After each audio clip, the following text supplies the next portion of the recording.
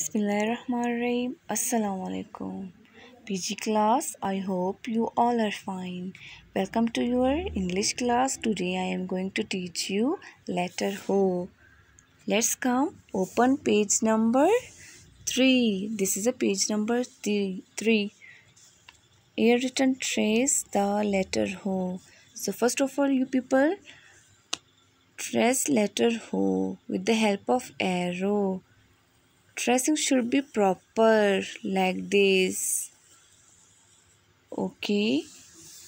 Come to the next page page number 4 this is a page number 4 here written trace and color trace and color.